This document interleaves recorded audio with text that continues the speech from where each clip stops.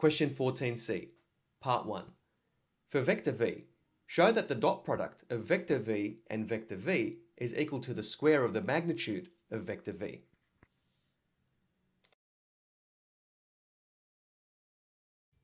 The dot product of vector v and vector v is equal to the magnitude of vector v multiplied by the magnitude of vector v multiplied by cos theta, where theta is the non-reflex angle between the two vectors. Now since vector v is parallel with vector v, theta is equal to 0, hence cos of 0 equals 1. Therefore, the dot product of vector v and vector v is equal to the magnitude of vector v multiplied by the magnitude of vector v multiplied by 1, which equals to the magnitude of vector v squared as required.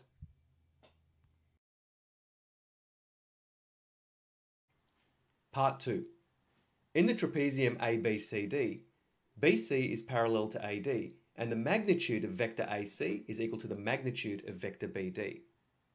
Let vector A equal vector AB, vector B equal vector BC, and vector AD equal k multiplied by vector BC, where k is greater than 0.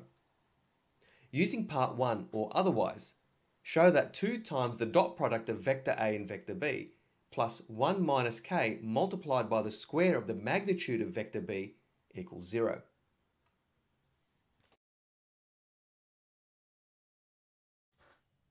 From the diagram, vector AC is equal to vector A plus vector B, where vector AC is one of the diagonals of the trapezium, expressed in terms of the sum of vector A and vector B, where vector A is the left-hand side of the trapezium and vector B is the top of the trapezium.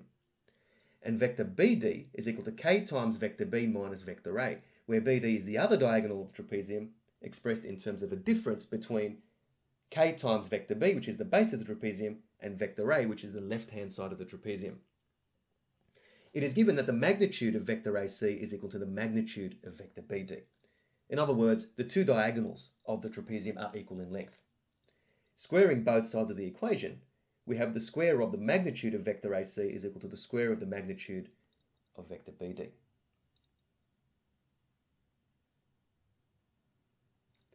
From part 1, the square of the magnitude of vector AC is equal to the dot product of vector AC and vector AC, and the square of the magnitude of vector BD is equal to the dot product of vector BD and vector BD.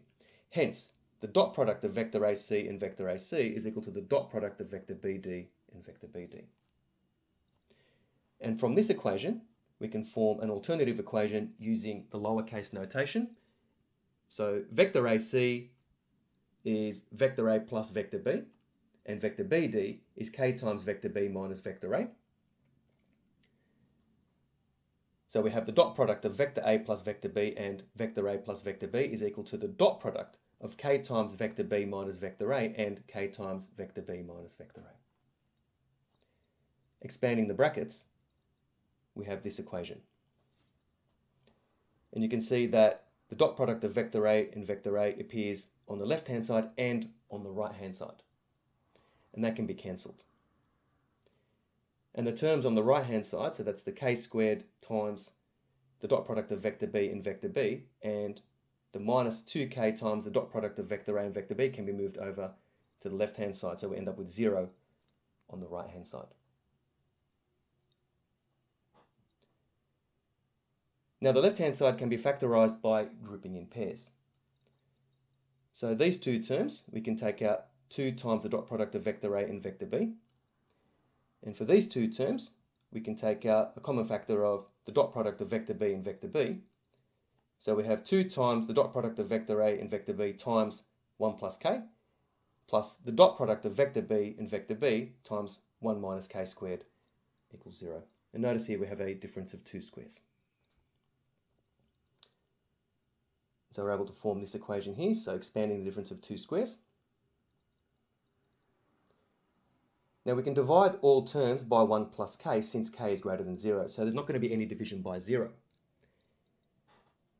So in other words, these terms will disappear. And we end up with 2 times the dot product of vector a and vector b plus 1 minus k in brackets times the magnitude or the square of the magnitude of vector b is equal to 0 as required since the dot product of vector b and vector b is equal to the square of the magnitude of vector b from part 1.